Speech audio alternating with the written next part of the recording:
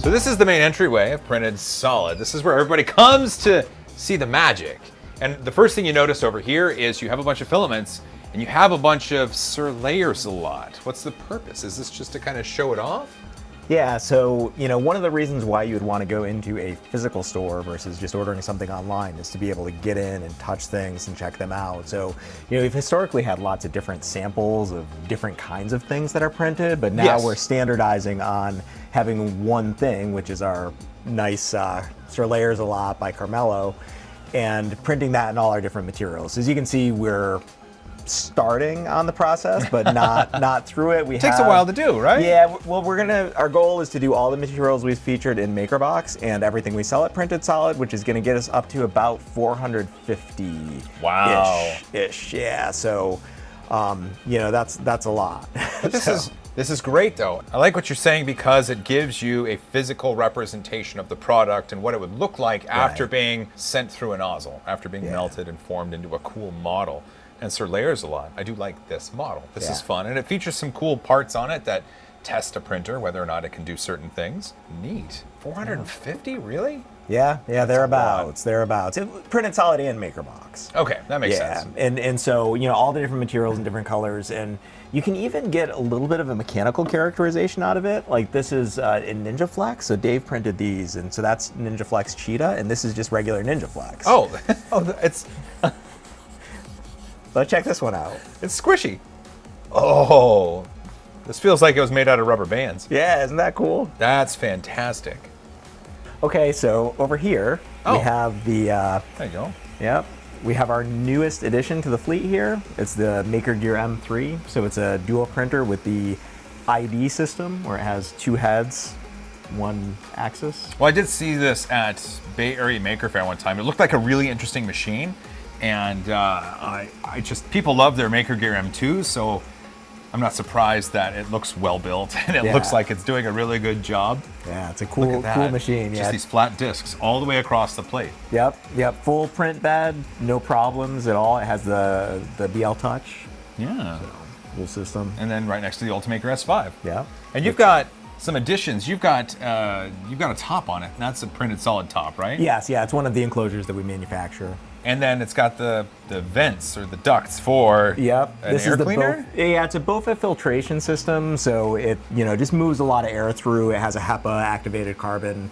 Um, so it's you know industry where they would otherwise be required to put it under a safety hood, uh, fume hood, or something like that. They can do this and not have to you know pay the facilities work. So that, that that's why. Oh, U- so- usually not a home kind of install. Some people do it. Well, sure, but an Ultimaker S5 isn't typically a home Typically installed not, printer. yeah, so yeah. for the industries and the people that are going to be getting an S5, there's this solution for the printed solid Yeah. enclosure up top to put a BOFA air filtration system on it. Yeah, I find it a little bit weird that uh, a thousand dollar product is a cost savings, but it really is, you know, versus you know having to do work on a facility. Sure. Pull a permit. No, it makes sense. It makes that, sense. This isn't this isn't meant for the user at home Right. usually, unless unless you're doing 24/7 stinky ABS printing or right. whatever. Right. Yeah. Let's just go around the room here. Sure. So next we have this shelf full of wonderful things. Yep. Is there a method to the madness over here? There is. So all these these pieces, these are just showing the different flexibilities of different materials. So exactly what I was just showing you with Oh. the Surlayer. So a lot that is DuPont Surlyn. So it's like Surlyn. Yeah. Yeah. So a Du- DuPont material, um, rather challenging to get any overhangs, but it's pretty nice clarity and an interesting flex. That's a graphene filled PLA, Graphalon. Graphalon. That's a fun name. Yeah, they're most yeah, most of them are labeled. Oh, I see. Oh, and then Cheetah. Okay. Yeah. Oh yeah. Whee. Yeah. That's fun. Okay, Okay, it's that, really that is neat comparing the different things. That's these up here, but I mean, you, the, are these And models the- that you printed or others have printed? Um, or So on this shelf, it's primarily models that we've printed, and you know mostly other people's models. We have the link on the table there for uh, the attribution. Mm-hmm. But yeah, this shelf is kind of showing finishing techniques and a little bit of material characteristics. Um, you know, like we have the Protopasta magnetic iron er, there that's with the magnets in it. oh yeah, that's cool. Then we have the haven't seen much of this material, but it's the uh, the Flexion, the X60. Oh, the super flexible yeah, and stuff. that's compared to regular NinjaFlex, and we cut it in half because we thought they were playing funny business with the infill, but Yeah. it's the same infills. And yeah, so that's you know that's what that shelf is. Then then we're showing functional parts because a lot of people walk in and say, you know, what what can I do that's real with a 3D printer? So Sure. we, we try to you know as there's functional things, you know, real parts, we'll make an extra one and put it on the shelf. Like, you know, dentist was making, actually casting his own braces. So we printed that for him. That's actually someone's teeth. That's fantastic. Yeah. Cool. And then, of course, just a, a big low poly shark Yeah. because why not? Everybody needs a low poly yeah, shark. That guy needs to get hung on the wall. He just, just really hasn't does. been hung on the wall yet. That's fantastic. Over here, just uh, just something. Yeah. anything specific There used to be the here? mass portal there, but we don't have the mass portal there anymore. So Okay, so now sometimes a- we just put things there. So now it's a pretty vase. Yep, that's our uh, midnight blue. It's really nice. This is something that uh, a lot of people really like, right? This is the printed solid. It's not a gumball machine. It's a model machine, right? Yeah. So this is, you know, kids love this. So when we do maker fairs Mm-hmm. and things like that, the very first maker fair that I ever did, I printed up what I thought was a huge number. I printed up a hundred uh, little robots or Marvins or something. Yeah. And um, they were gone in about five minutes. So I said, you know, what if people had to pay a quarter for them? That would that would limit it. I then I found how much the capsules cost, and it was like 20 cents. Like, all right, it has to be more than a quarter. So I got that, this 50 cent machine. And yeah, so now it, you know, kids come up to the table, and if they have 50 cents, they, they buy it, and they have their own little printed, 3D printed thing. Well, not only that, but the, the method of delivery is fun. Yeah, there's, a, exactly. there's, a, there's a thing here, Yeah. right? I mean, if you buy gum from a machine like this, gum doesn't last forever, but it provides you some enjoyment. Just like these models may not last Yeah, forever, you but know- you get a little bit of enjoyment. And there's a barrier to entry, so not everybody is just going to be grabby at your table. Right. It really does reduce the grabbiness at the table. That's the best value. 20 cents a piece, huh? It was, it was something like, if, you know, if you're not buying many, Yeah, it, yeah. that makes sense. I guess we could could have 3D printed our own. I guess so. I don't know. Do you know anyone with a 3D printer? No. Here's the polisher. Yep, the Polymaker Polisher. I do like that machine. I remember Yeah. when I took it out. I haven't had the chance to use it much yet. Do you guys use it a lot? Uh, we haven't used it a ton. Um, You're going to use it for your uh, Sir Layers a lot, we are. right? We're going to the- do a series of Sir layers a lot with different exposure times. So it's in you know it's in the clear poly smooth. So it should come out pretty clear. I think it's uh, just two. Oh, there's no infill. Two perimeters and hollow. Okay. So you know we've done vases like that, and they've come out really crystal clear. Ooh. So you know we're going to do varying exposure times and just see if we can get it from just nice and crystal clear down to melted. One down thing you're going to run into is the inner skin isn't going to be polished. We could put holes in the bottom. You could, you could, and swish around some Yeah, maybe isopropyl I'll cut the bottom off. But I found that when I was bottom. doing the, the clear stuff, when I did the benching in the bottle, the clear poly smooth was not clear because I couldn't apply it to both sides, so I had to Okay. swish around some stuff. But if you did put a little hole in the bottom of Yeah. Layers a lot, and you did swish around some isopropyl alcohol, you might be onto something. Yeah, we'll see. And speaking of Sir Layers a lot, it's huge. Yeah, that's Engen Lux. Okay. Oh, we talked about that in the MakerBox video. Yeah, It's a beautiful material. yep. Yeah, it needs a little bit of cleanup on that guy, Okay. but it's uh, That's fine. Oh, that's Yeah. an easy cleanup right That's an there. easy cleanup. That's, that's one of those things where even though the print isn't perfect, you know that cleanup can happen, and so you don't stop the print. You know, you don't kill it. You Yeah. You just make do. and sometimes you think of 3D printing as a step, a step to get to your final object. Oh, rather sure. You talk to any prop step. builder, you know, that's what's going to happen. Next to that, Solos Mini 2, and this is, uh, oh, it's got your enclosure on it. Yep. And these, do we get to say what these are? The ABS pieces? Yeah. Yes, we, we can say what the ABS Okay, pieces. okay, cool. This is it, it either will have launched or will be launching soon from Lulzbot. Okay. And it's it's neat though. I like that you still maintain visibility, but there's a lot less acrylic. And ABS way tougher than acrylic. Yeah, yeah. Looks pretty cool too. It does give it a certain aesthetic that is pretty cool. I like that. I and don't then know you have the it. Lulzbot green works as much Well, of with course. the. Well, and you have it on the the big. That's the Taz six, right? Yep, it has six. So you still maintain that you have to have the visibility. You need the acrylic on the front, but these ABS side panels and Yeah, exactly. Yeah, because you know, a big user of Lulzbot is schools, mm-hmm. and the kids. I mean, everybody wants to see your 3D printed. Sure. running. You don't want to have it blocked off so you can't see it, but kids especially, they want to see. They want to see. So yeah, having a nice wide open window, that's that's what's good about. Well, this is great though because an enclosure around this size of machine I know is difficult, but it really gives it a certain look, a, a professional look. Mm-hmm. Yes. So a makerspace or an educational facility, I think it behooves them to get an, an enclosure for a larger machine because it's it's going to make it last longer because they won't have as many fingers in Right. touching it at the very least. Cool. Yeah, we Oh, see a lot of these decisions being driven by environmental safety officers and things like that. So, Makes sense. yeah. And you still have the Ultimakers. I remember when I was here last, you had the Ultimaker 2 Plus and an Ultimaker Go. Yep, and the extended. Might Oh, have been okay, sitting yeah. somewhere different, Yeah, yeah, but yeah, and the original, which is still here. Oh, there it is. Look at that. And that shelf was over there last time, but Yeah. just more cool prints. Yep, that one is. So the top shelf there is uh, kind of customer featured prints. Okay. And then uh, next shelf is mostly print and place type models with a bunch of other stuff that I just needed space for. And then the one below it is just assorted geekery. Well, this is just building one. This I mean, we still. building You want to go around in here Yeah, real we quick? can take a peek in Let's the take a inside. peek. See, compare it to where everybody was. And Okay. Wow, look at this. This is fantastic. It's so much different than the last time I was here. There's more of everything. Yep. yeah, we, uh, you know, we've when you were here before, all we had was that back aisle, the the very back row of materials. Right over there. Yeah, now so now we have an additional row. We have the back room full. We have a bunch of pallets and pallet racking back there. Um, and you know, we're kind of at the capacity of what we can do in this building because we also host classes, so uh, we really can't. we really So you can't. make MakerBox here, you host classes here, and you have to store all sorts of product. Yeah, so we were able to get another building nearby, and you know the biggest change since you're here is that I have merged my company with David's company. Oh. and so uh, you know my partner, new partner David Randolph, is uh, has a lot of experience making enclosures and you know laser cutting and different manufacturing techniques. Oh. So I'm going to hand you off to David to uh, go check his building out now. Oh, there's another building. There is. Okay.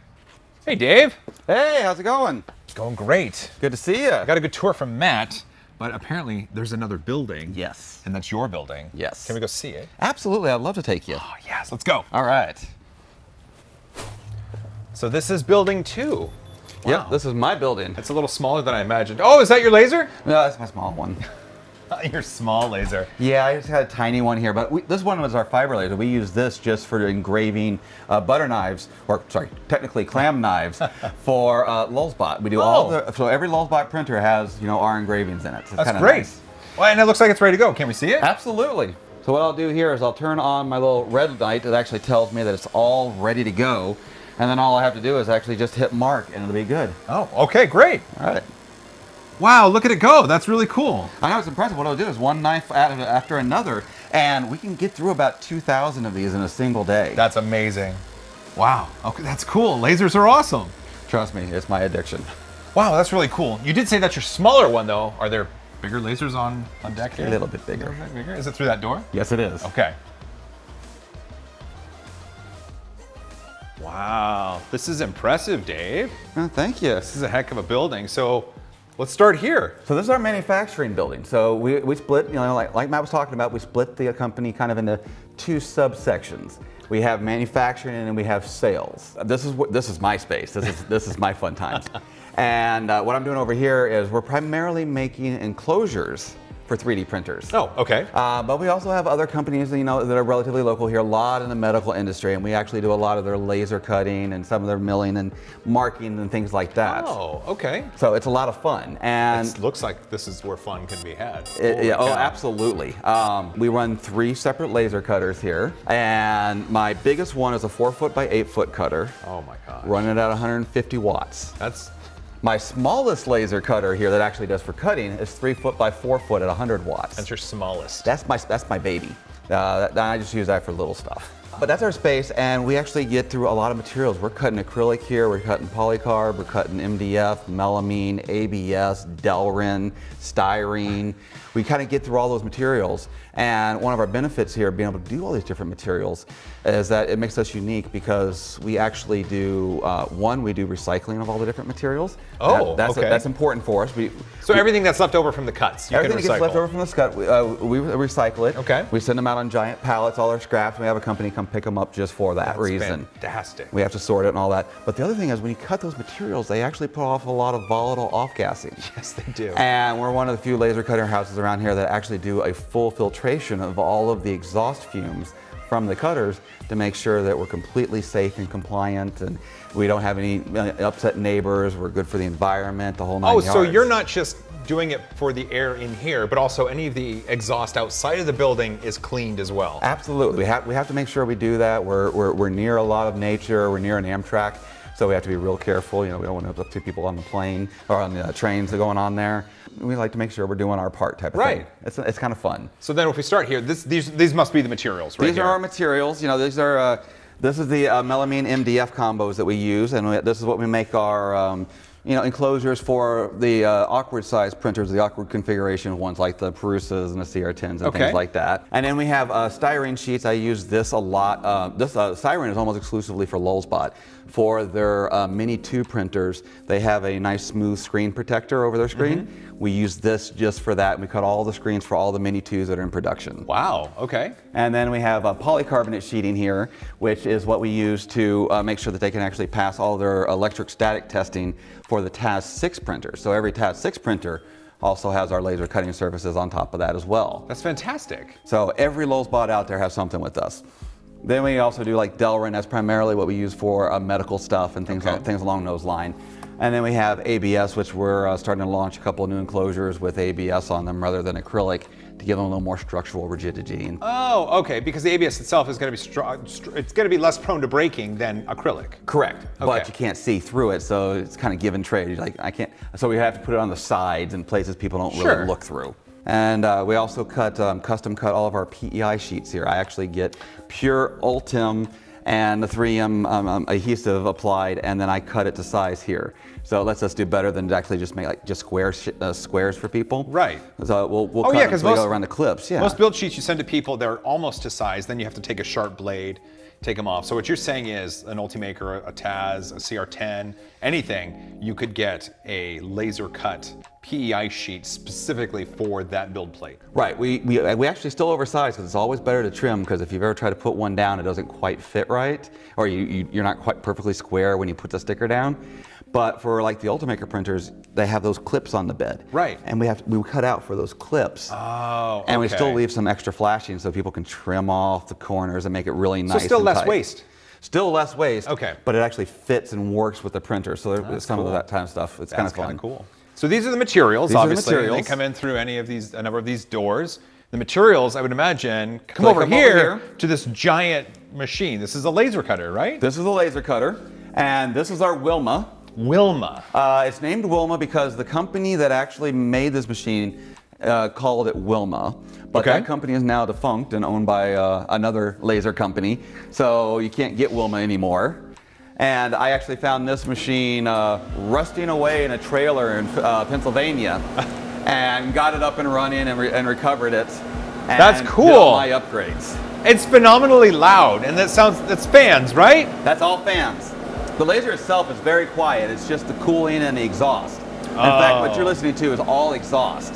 I'm moving about 1200 CFM just to exhaust this outside. Oh, and so any anything that you're cutting in here, the fumes aren't staying in here. I have to protect going my outside. workers. Sure, but at the same, okay. So you said you're still exhausting outside. Yes. So any of the stuff that you cut that puts off the heinous gases, you can't cut on this one, right? This one we do not cut because there is a little bit of air leakage on this machine, and I don't want to risk my workers or risk any of that getting outside just in case. Okay, because there's a couple more back here. And then I have more machines back here that we use. And then, of course, I have my machines properly named Red 1 and Red 2. Sure. And these are my well-sealed machines, and each one of these machines is actually pumping out 800 CFM. Okay. Uh, uh, um, through a filtration system, and this is what I cut my uh, stuff that could be considered toxic. Okay, coming to the when I'm over at this machine, it's not a good smell. Right. Obviously. That's because all we do all day long is cut on it. Yeah. And uh, you know, with a laser, you're ultimately burning. sure. And you know, we do ABS, and as people know, ABS It does off gas. issue. Yeah. Um, so you do get a little bit of that smell. Polycarb's afterwards. gonna off gas. Polycarb, all of it off gases, and that's the problem. So then, okay, so this is a cut. This is a cutting machine, and This must be the filter? This is my filter. It's a, it's a giant filtration system. Uh, this one here is rated for about 2,000 CFM for the whole thing. and it's what I use to actually filter both of my red machines. Both the machines, okay. Both of them run through that. And that there, as you can tell, as soon as I open it, you can kind of smell a little bit off of It it. does not smell pleasant. And uh, this one here, I had this machine built for me my Pacific purposes. Uh, this is a fire stop. Okay. The reason why is in case there's ever a fire inside these machines, it's sucking that air, which means it sucks this vortex of flame. That's right. this stops that. Oh, that's good. Okay, good, so good, that's good. what that serves for, is just to make sure that the flame doesn't reach the outside. and then there's these bags above it. And then this is all of the kind of air filter. This is what gets all the large particulates and all that stuff. Okay. But it doesn't get off the VOCs. So at the top here, I've got 200 pounds of activated charcoal. Uh, 200 pounds, Try, wow. try me loading this by hand. This was very difficult. And 200 pounds of activated charcoal up here, and that does the rest before we exhaust outside. okay. So that's our whole machine. Uh, this machine's got It does stink switches. a little bit when you open that. Yes. Wow. We don't open it very often. No. Every six months, I go in there and change out all the filters and the charcoal, and it's icky. Right behind you, this is ultimately what we're doing. Oh, These are our enclosures. These are- Right. These are, our most popular enclosures. So uh, these are the Ultimaker doors, aren't they? These are the Ultimaker doors. Yeah. So I got some Ultimaker 2s and Ultimaker 3 kits here that are waiting to get boxed up. Okay. And so we cut them all out of uh, a cast acrylic. Um, that's actually, we've talked to the manufacturers, we talked to our distributors, we get very specific acrylic. That's a, the strongest version of acrylic because acrylic is a delicate material. Absolutely. We try to at least get the strongest material we can for that, and we've engineered them as best we can in that situation. But then we actually glue the hinges for all the doors for everybody here, mainly because uh, when we first started, we relied on the end users to glue it and realized that no, they should No. not be gluing it. No. So we do it for them, and then we package it up that way. Okay, but it looks like you have a good process here for getting it all done, and then you can pack it up and send it on its way. Absolutely, and we got them all out. We got some Prusa kits and CR10s down there, the whole nine yards. And we've done really well with this over the last uh, year and a half at Printed Solid. I've been doing these enclosures since about 2008, going back to the original Thing-O-Matic and the replicators and all of those. Oh. So I've been doing all these enclosures for that long. Um, with the success here at Printed Solid, it's given us the ability to expand our manufacturing, and we're going to be working on getting into some other products going into next year. Okay. I'm excited to see that. Oh yeah, me too. I'll have to, I'll have to come back, you know, and, and, and see as it grows. Wow. Thanks for the tour, Dave. Oh, my pleasure. I Thanks for appreciate coming out. that. I'm really glad I got to see all this. Lasers are cool, and it's good to see Printed Solid expand beyond just being a materials reseller. I actually getting into this this the manufacturing side of things and providing a high bar of quality for the parts that go out. That's awesome, and I'm glad to see it expanding. Whew, it's cold out here. That was a lot of fun. A big thanks for Printed Solid for bringing me out. And I'm really happy that I got the chance to talk with Matt and with Dave and get that tour. And don't forget, MakerBox is a lot of fun. I had a really good time putting that box together. And if you want 25% off your first month, there's a link in the description. Use my code, you'll get it. But uh, it's it's cold out here in Delaware, and I want to I want to go to a warm place. So don't forget to hug each other more. I love you guys as always. High five.